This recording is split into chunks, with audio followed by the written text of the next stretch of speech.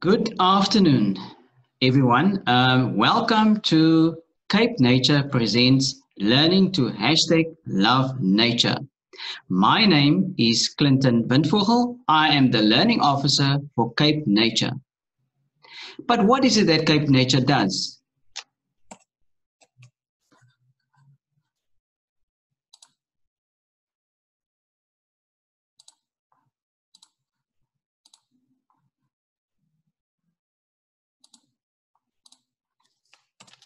We are a government organization that protects natural occurring plants and animals in the Western Cape.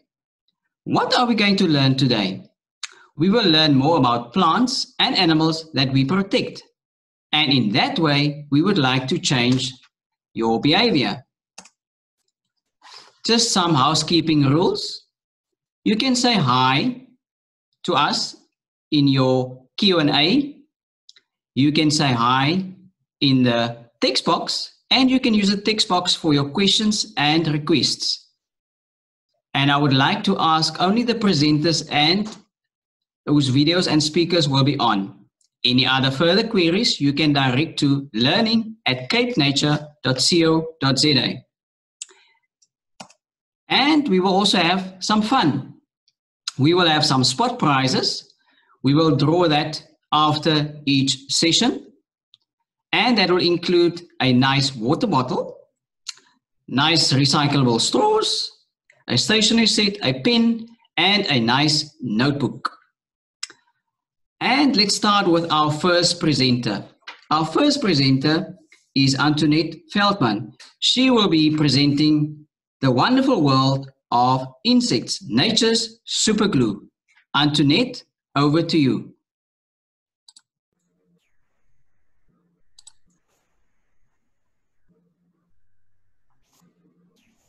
Good morning, everybody. I can just share my screen with you guys. As I, so today, um, like Clinton said, we'll, I'll be talking to you about the wonderful world of insects um, and why insects are called nature's superglue. We will be learning to hashtag love insects. So what is an insect? An insect is a creature that has a head, a thorax, and an abdomen. Most of them are um, creatures with, with two to four pairs of, of wings, and all of them have six legs. Insects also have exoskeletons. What is an exoskeleton? It's almost like a knight suit of armor. It's a hard outer shell that protects the soft, squishy bits inside. Insects also have five eyes. They've got three small single eyes to see light and dark with, and they've got two large compound eyes to see movement. Are these insects? No, they're not. These are spiders. So the difference between spiders and insects are in the number of legs. Spiders have eight legs, whereas insects have six legs. Remember, spiders never have wings, and they also have um, uh, only a thorax and an abdomen. The head and the thorax is fused, whereas insects have a separate head and thorax. So 80% of all animal species are invertebrates. So invertebrate is a creature that doesn't have a backbone. And insects also are the biggest group of invertebrates that we have on Earth. They've got unbelievable biodiversity. For each of us, there are, there are about 200 million insects. And if you could put them all into one basket, all the insects on Earth will weigh 300 times more than all the humans on Earth. They also occur everywhere on land, in water. Some of them fly, some of them crawl. Insects are truly magnificent. You get the most beautiful insects as well. This is a large moth that you find in the tropics, beautifully colored. And then you get jewel colored bugs. You've got beautiful blue wasps. Insects are magnificent. Okay.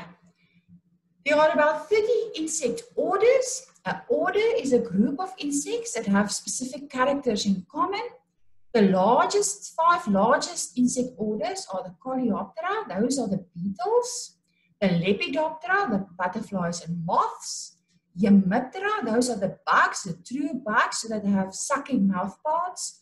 You get Hymenoptera, which is a grouping of bees, wasps, and ants. And you've got the grasshoppers.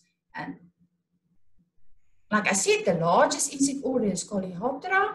So from the 1.5 million described species of plants and animals on Earth, approximately 20% of them are beetles. So there are more than 400,000 species of beetles on Earth.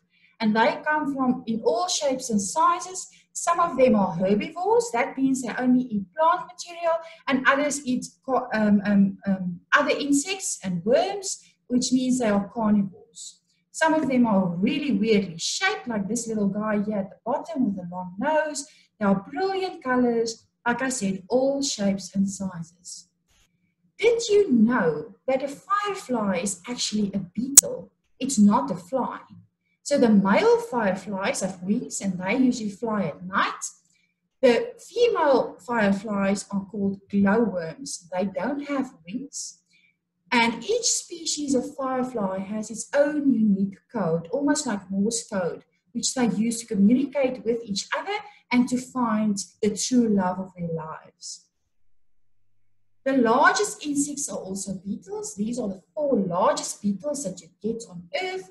The biggest one is the South American longhorn beetle. You get the rhinoceros beetle, which is the heaviest insect on Earth. You get the Goliath beetle and the Hercules beetle. And in the middle, you can see a larvae of these creatures. This, that's a huge worm. The second biggest order is a Lepidoptera. Um, the Lepidoptera is a butterflies and moths. There are about 120,000 species, of which 24,000 are butterflies. So butterflies only see red, green, and yellow, and they taste with their feet. So if you put a, a, a, banana outside and it gets squishy and old, the butterflies love that. And you'll see they come and sit on the a, a banana and they squiggle their feet around. That's how they taste. And then once they, they decide something tastes nice, they will start eating. The fastest flyer, the fastest flyer um, is a butterfly that flies about 60 kilometers per hour, but they usually fly about 8 to 19 kilometers per hour. Okay, so what's the difference between moths and butterflies? So moths mainly fly during the night. They're also usually dull colored. They rest with their wings um, um, next to their bodies. They've got huge fluffy bodies and the antennae are feather-like, whereas butterflies are usually beautiful colored. We all know the difference um, between in that aspect. They fly during the day. They've got thin, delicate bodies, and their antennae are thin and with clubbed at the end. Butterflies and moths um, come from caterpillars, and again, caterpillars come in all shapes and sizes, the most beautiful creatures on earth, in my opinion. And the most interesting fact about caterpillars are they have got more muscles in their bodies than we've got um, as humans. Even that bodybuilder in the middle of the screen has fewer muscles than caterpillars have. Some more interesting facts about insects. A praying mantis has only one ear. That ear is situated between the front and the middle pairs of legs in the middle of their bodies. And they can also twist their heads 120 degrees to see um, prey um, insects behind them and in front of them. They are very um, well organized carnivores. The most interesting fact for me, a grasshopper can eat its own body weight in food every day. Wouldn't that be fantastic? Especially now during lockdown, where all of us sit at home and we eat and we eat and we eat. The difference between us and grasshoppers are grasshoppers won't get fat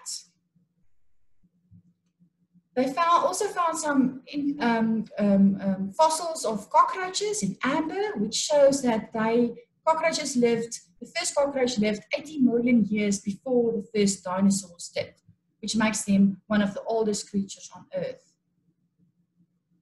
Honeybees occur on all continents except Antarctica, and honeybee beats its wings about 11,000 times per minute. And very interesting hairs, and honeybees have hairs on their eyes.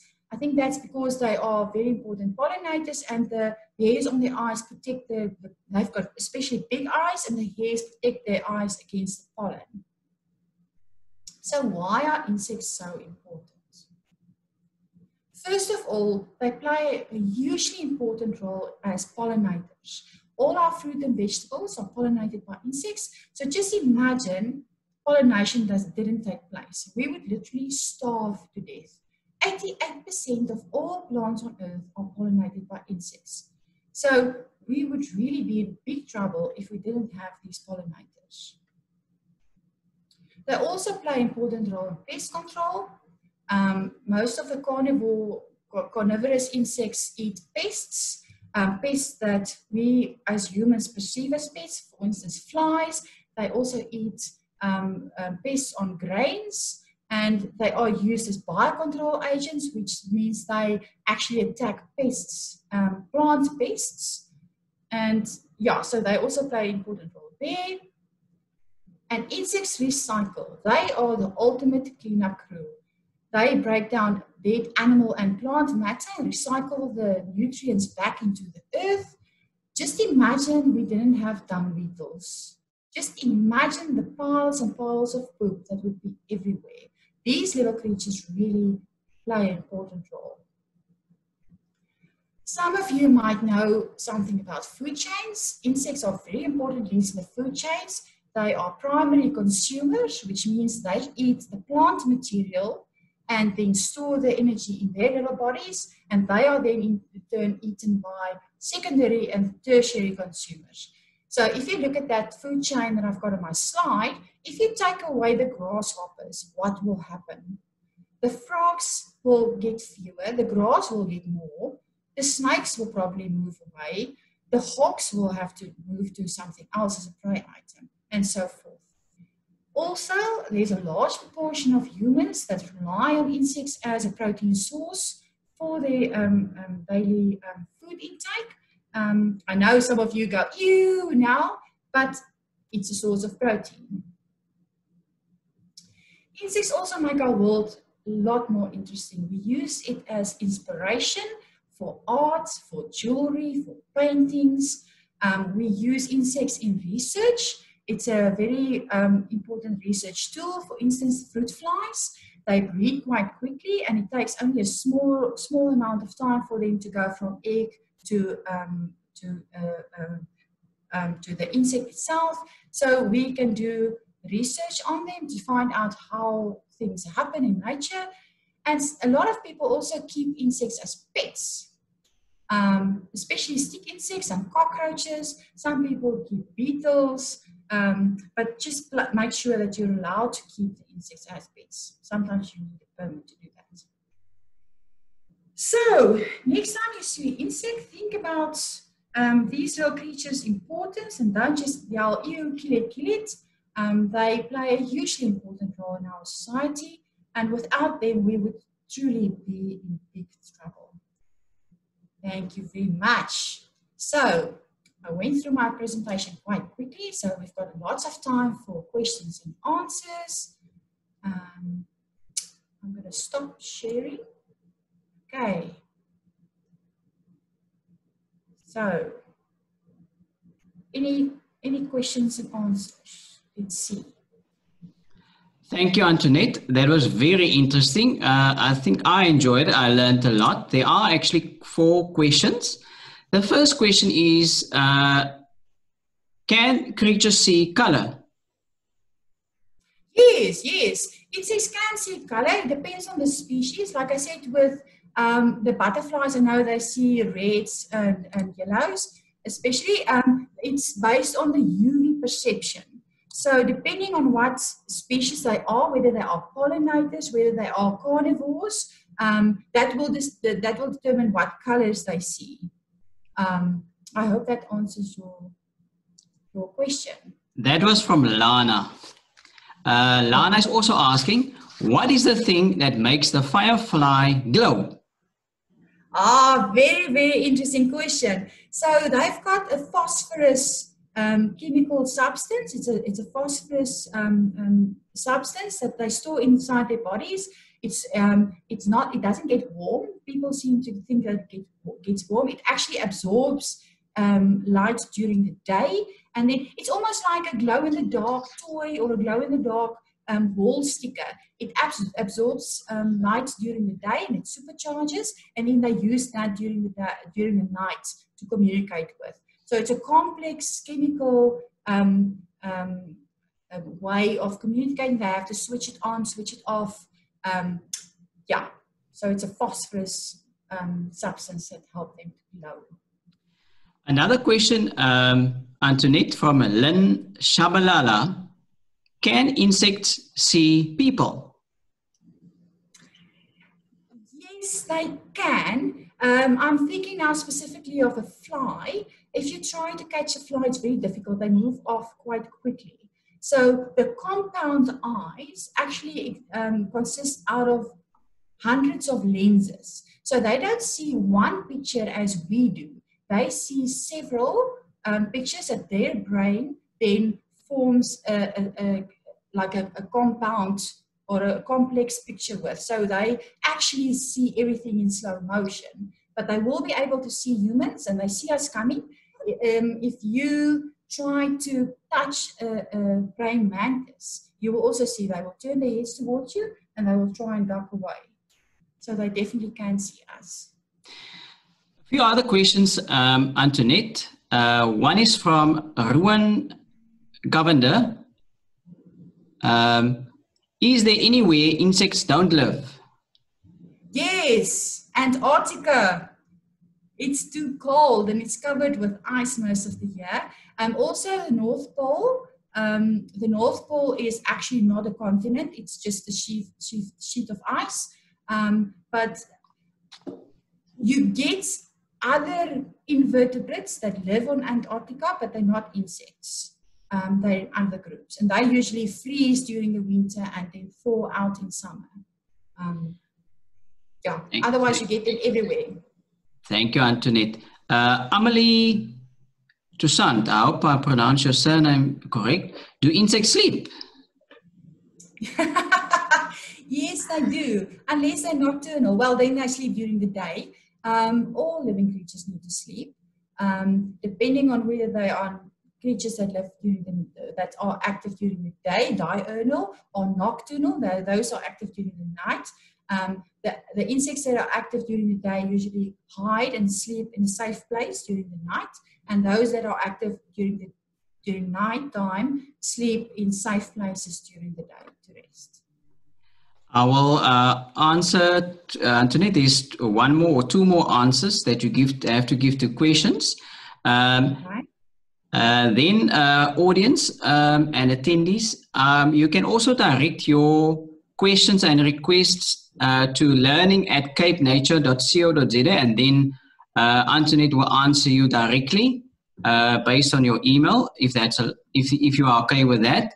Uh, Simon Goldstein, if we put out a banana, what butterflies would we attract to our garden? Um, what butterflies? Yes. Um, there's quite a few species that um, that are they butterflies usually drink nectar from flowers, but some of the the citrus type butterflies, those are usually the black and yellow butterflies. They will be attracted to bananas. Um, Last question for this session, um, Ava Peters. Uh, did they use firefly as lights in the olden days? no, they didn't. I know they usually show this in, in, in um, animation movies. They, they don't make enough lights to use as a light source. Um, I think a lot of people probably thought fireflies are fairies during the night. Um, but yeah, no, they didn't use them as lights. But it's a great idea. Okay. Uh, thank you, Antoinette. Um, we will be um, doing the drawing of the prizes now. Um, and uh, yeah.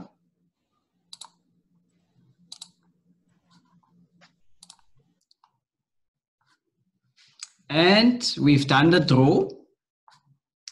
and that is number 57. I'm just looking at what is number 57 here for the session. Brenda Zambizi. Well done, Brenda. Congratulations. We will be in contact with you and um, our staff will then hand over your prize. Thank you very much. Um, thank you. Um, that is the end of the first session.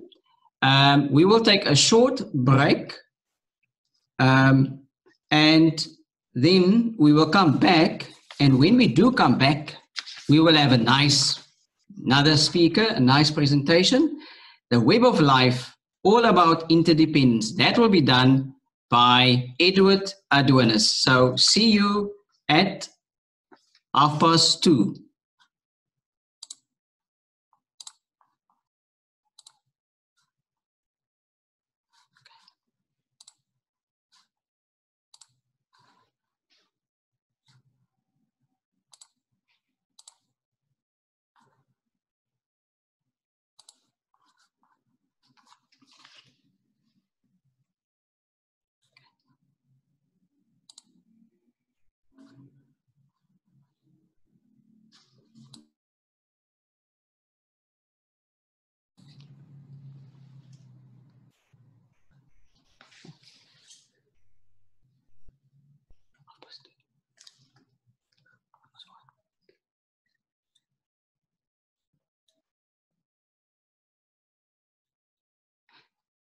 Just a, oh, sorry, I just made this mistake. Um, it will be at half past one. Sorry, audience, we will be back at half past one. Thank you.